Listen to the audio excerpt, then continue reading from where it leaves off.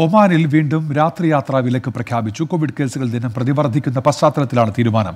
ഈ മാസം ഇരുപത്തിയെട്ട് മുതൽ ഏപ്രിൽ എട്ട് വരെ നിയന്ത്രണങ്ങൾ തുടരും. കഴിഞ്ഞ ഏതാനും ദിവസങ്ങളായി ഒമാനിൽ കോവിഡ് പോസിറ്റീവ് ആവുന്നവരുടെയും മരണനിരക്കിലും വൻ വർധനവാണ് റിപ്പോർട്ട് ചെയ്യുന്നത്. ഈ സാഹചര്യത്തിലാണ് വീണ്ടും രാത്രികാല ലോക്ഡൌൺ ഏർപ്പെടുത്താൻ സുപ്രീം കമ്മിറ്റി തീരുമാനമെടുത്തത്. ഈ മാസം ഇരുപത്തിയെട്ട് മുതൽ ഏപ്രിൽ എട്ട് വരെ നിയന്ത്രണം തുടരും.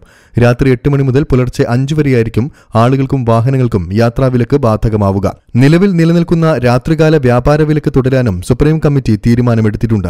നിയമലംഘകർക്കെതിരെ കർശന നടപടി സ്വീകരിക്കുമെന്ന് ഒമാൻ സുപ്രീം കമ്മിറ്റി വ്യക്തമാക്കി. അതിനിടെ പൊതുവിദ്യാഭ്യാസ സ്ഥാപനങ്ങളിലെ ഓൺലൈൻ പഠനം ഏപ്രിൽ എട്ട് വരെ നീട്ടിയതായും സുപ്രീം കമ്മിറ്റി അറിയിച്ചു.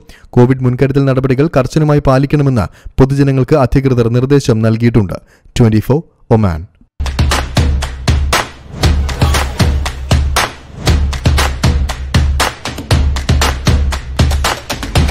Number one election channel 24.